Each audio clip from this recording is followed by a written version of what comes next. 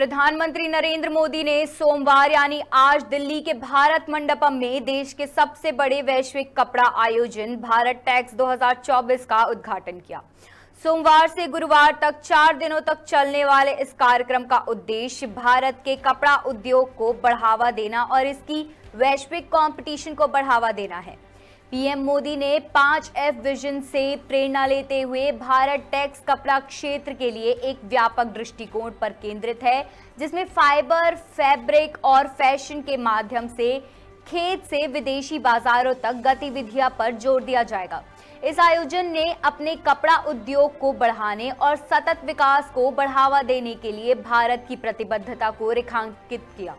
PM ने कहा कि आज का ये आयोजन अपने आप में ही बहुत खास है। खास इसलिए क्योंकि ये एक साथ भारत के दो सबसे बड़े प्रदर्शनी केंद्रों, भारत मंडपम और यशोभूमि में एक साथ हो रहा है। उन्होंने कहा कि आज का ये आयोजन सिर्फ़ एक टेक्सटाइल एक्सपो नहीं है। इस आयोजन के एक सूत्र से कई चीज़ें जुड़ी हुई हैं। भारत टेक्स का ये सूत्र भारत के गौरवशाली इतिहास को आज की प्रतिभा से जोड़ रहा है। भारत टेक्स का ये सूत्र टेक्नोलॉजी और ट्रेडिशंस के संग पिरो रहा है। भारत टैक्स का ये सूत्र शैली, स्थिरता, पैमाना और कौशल को एक साथ लाने का सूत्र है। उन्होंने कहा कि विकसित भारत के निर्माण में टेक्सटाइल सेक्टर का योगदान और बढ़ाने के लिए हम बहुत विस्तृत दायरे में काम कर रहे हैं। हम परंपरा, प्रौद्योगिकी, प्रतिभा और प्रशिक्षण पर फोकस कर रहे हैं। नरेंद्र मोदी ने कहा कि हम कपड़ा मूल्य श्रृंखला के सभी तत्वों को पाँच एफ़ के सूत्र से एक दूसरे से जोड़ रहे हैं।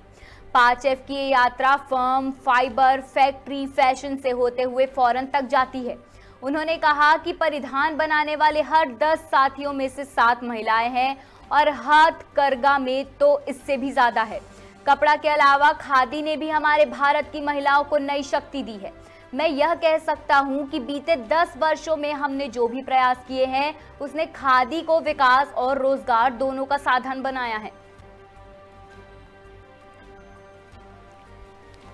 आप जानते हैं कि भारत ने आने वाले 25 साल में विकसित राष्ट्र का संकल्प लिया है। विकसित भारत के चार प्रमुख स्तंभ हैं। गरीब, युवा, किसान और महिलाएँ और भारत का टेक्सटाइल सेक्टर इन चारों, यानी गरीब, युवा, किसान और महिलाएँ, सभी से जुड़ा हुआ है। इसलिए भारत टैक्स ऐसे इस आयोजन का महत्व बहुत बढ़ जाता है। साथियों, विकसित भारत के निर्माण में टेक्सटाइल सेक्टर का योगदान और बढ़ाने के लिए हम बहुत विस्तृत दायरे में काम कर रहे हैं। हम ट्रेडिशन, टेक्नोलॉजी, टैलेंट और ट्रेनिंग पर फोकस कर रहे हैं। हमारी जो पारंपरिक विधाएँ हैं, इनको आज के फ़ैशन की डिमांड के हिसाब से कैसे अपडेट किया जाए? डिज़ाइन को कैसे नयापन दिया जाए? इस पर बल दिया जा रहा है। हम टेक्सटाइल वैल्यू चेन के सभी एलिमेंट्स को फाइव ऐप के सूत्र से एक दूसरे से जोड़ रहे हैं। और मुझे लगता है शायद जब तक आपका ये कार्यक्रम चलेगा पचासों लोग होंगे जो आपको बार बार फाइव ऐप सुनाते रहेंगे। इसलिए भी आपको कंठस्थ हो जाएगा। और वहाँ जाएँगे एग्जीबिशन में तो वहाँ भी बार बार फाइव ऐप आपके सामने आएगा। ये फाइव ऐप की यात्रा फार्म फाइबर फैक्ट्री फ़ैशन और फॉरेन एक प्रकार से पूरा दृश्य हमारे सामने। फाइव ऐप के इसी सिद्धांत को ध्यान में रखते हुए हम किसान, बुनकरों एमएसएमई एक्सपोर्ट सभी को प्रोत्साहित कर रहे हैं। एमएसएमई को आगे बढ़ाने के लिए हमने कई अहम कदम उठाए। हमने इन्वेस्टमेंट और टर्नओवर के लिहाज से एमएसएमई की परिभाषा में भी संशोधन किया। है उद्योगों का स्केल और साइज़ बड़ा होने के बाद भी उन्हें सरकार की योजनाओं का लाभ मिल सकेगा। हमने कारीगरों और बाज़ार के बीच की दूरी कम की है। देश में डायरेक्ट सेल्स, एग्जीबिशंस और ऑनलाइन प्लेटफॉर्म जैसी सुविधाएँ बढ़ाई गई।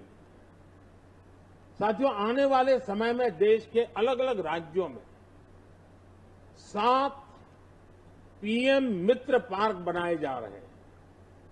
ये योजना आप जैसे साथियों के लिए कितने बड़े अवसर लेके आने वाली है, इसकी कल्पना कर सकते हैं।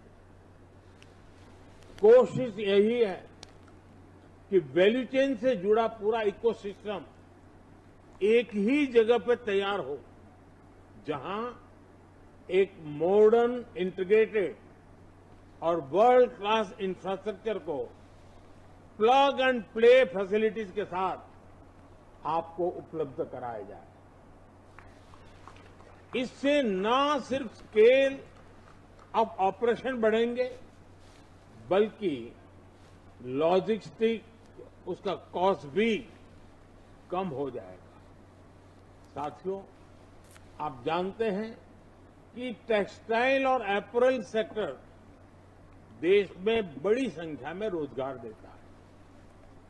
इसमें फार्म से लेकर एमएसएमई और एक्सपोर्ट तक अनेक रोज़गार बनते हैं। इस पूरे सेक्टर में रूरल इकोनॉमी से जुड़े लोगों और महिलाओं की भी बड़ी भागीदारी होती है। परिधान बनाने वाले हर दस साथियों में से सात महिलाएँ हैं और हैंडलूम में तो इससे भी ज़्यादा है।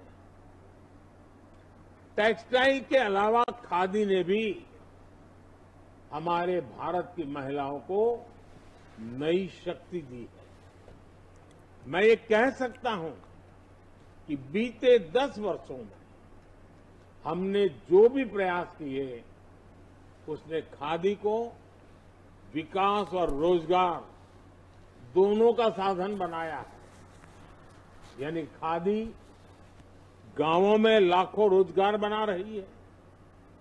बीते दस वर्षों में सरकार ने गरीब कल्याण की जो योजनाएँ बनाई है, बीते दस वर्षों में देश में जो इंफ्रास्ट्रक्चर डेवलपमेंट हुए हैं, इससे हमारे टेक्सटाइल सेक्टर को काफ़ी लाभ मिला।